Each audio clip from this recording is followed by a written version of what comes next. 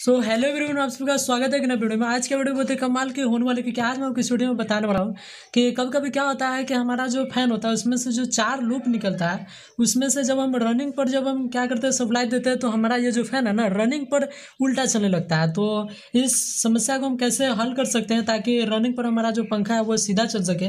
तो देखिए, ये जो आपको फ़ैन आपको दिखाई पड़ रहा है इसमें भी सेम टू सेम वही प्रॉब्लम है, ठीक है? तो चलिए देखिए, यहाँ पर हम चेक करके बताते हैं थोड़ा सा। तो देखिए, यहाँ पर ये हमारा रेड वाला जो वायर दिखाई पड़ रहा है, ये रेड वाला वायर हमारा रनिंग का है और ये जो ग्रीन वाला वायर है, ये हमारा स्टार्टिंग का ठीक है? तो देखिए, यहाँ पर रनिंग और स्टार्टिंग का एक लूप निकाल दिया और जो बचा हमारा, इसमें कंडेंसर यहाँ पर जोड़ दिया, ठीक है? तो एक हम यहाँ पर सटाएँगे और एक रनिंग वाले पॉइंट पर सटाएँगे। तो देखिएगा, ये वाला जो है ना, ये उल्टा नचेगा, ठीक है?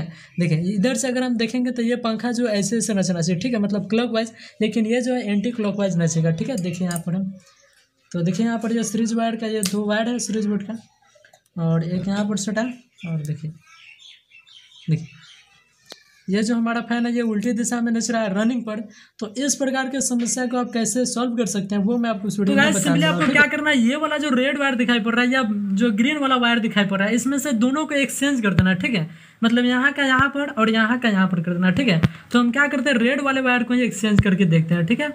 ऐसा करने से आपकी जो प्रॉब्लम है वो सॉल्व हो जाएगी ठीक है?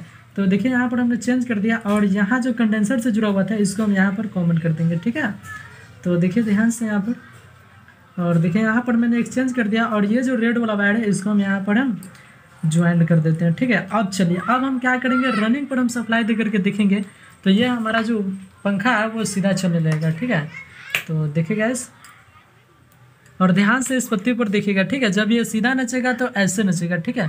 तो देखिए, यहाँ पर मैंने ये सटाया और देखिए, सीधा नच रहा देखिए, फिर से एक बार हम सटा करके दिखा रहे हैं। तो देखिएगा इस इस प्रकार से आप इस प्रॉब्लम को सॉल्व कर सकते हैं एक्सचेंज करके वायर को, ठीक है? तो गाइस ये हमारा तरीका कैसे लगा आप कमेंट में ज़रूर बताइएगा और वीडियो चलेगी तो वीडियो को लाइक कर दीजिएगा। चैनल पर नया तो चैनल को सब्सक्राइब करके बेल आइकन को प्रेस कर दीजिएगा। चलिए आज के लिए इतना है, फिर मिलते हैं नेक्स्ट वीडियो में, तब तक के लिए बाय जैन